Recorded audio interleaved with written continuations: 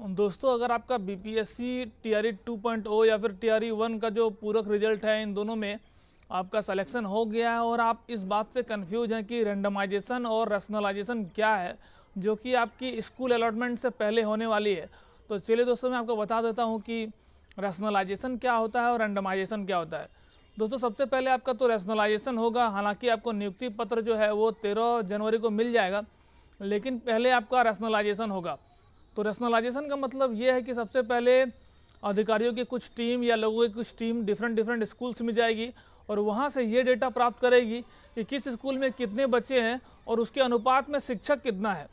तो अगर इस डेटा को वो हासिल करते हैं तो इसे कहेंगे हम लोग रेशनलाइजेशन इससे पता चल पाएगा कि शिक्षक और विद्यार्थियों का अनुपात क्या है, ताकि उसी अनुसार उस स्कूल में टीचर्स को अलॉट किया जाएगा ताकि शिक्षक और विद्यार्थी का जो अनुपात है वो ठीक से बना रहे।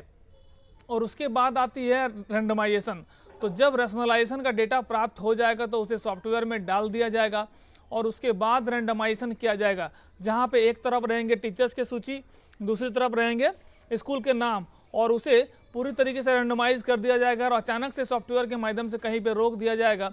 आपका नाम जिस भी स्कूल के सामने आएगा, उसी स्कूल में आपको अलॉट कर दिया जाएगा।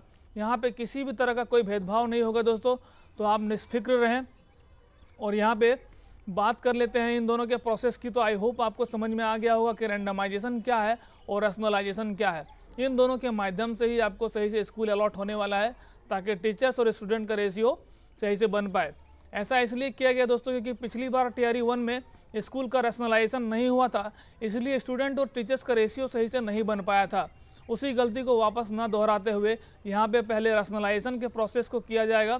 उसके बाद आपको स्कूल अलॉट किया जाएगा ताकि स्टूडेंट टीचर के रेशियो सही से बना रहे। तो आई होप आपको ये बात समझ में आ गया होगा। थैंक यू मिलते हैं अगले वीडियो में। तब तक के लिए take care bye thank you so much